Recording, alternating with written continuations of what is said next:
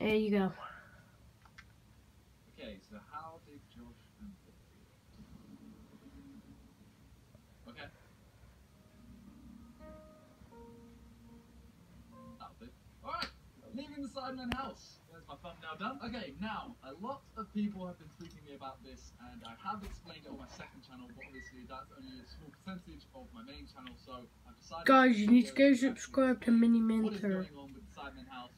What we're all doing and everything, now that all the information is pretty much out there. So if you guys haven't seen, Vik has done a video about leaving Sidemen house. He's actually done a video of him moving into his place as well. So he moved out a couple weeks ago. Uh, he is now living in London and he seems to be really enjoying it. So we're all happy for him. He, uh, he, he left really quick actually. Didn't think he quick. Josh has done a video as well saying about what he's doing and he's moving in with Freya. Freya also made a video. They made they made like a joint video. So they're both moving into London. They're moving in together. So happy for them as well. Now that leaves me and JJ, me and KSI, childhood buddies. We are two moving into London because the Sidemen are not over. Everyone tweets us about oh the Sidemen are ending because the Sidemen house is coming to an end. That is not the case. In fact, if anything, it probably makes the Sidemen stronger because it'll be easier for all of us to meet up and do stuff. Right now, we live out in Narnia, so I was gonna, I was supposed to say where. We uh, we don't go into London much, whereas all the other guys live in London, so we don't see them. We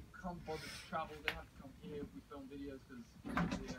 Simon, if you're watching this, London we can all see each other whenever we want. subscribe. recording will actually be easier because we'll have a set schedule. We do anyway, but we're kind of like, oh, you know, we can do whenever. Because when four of us lived here, it was always like, okay, there's three others, you come here. Whereas that now we'll have seven of us,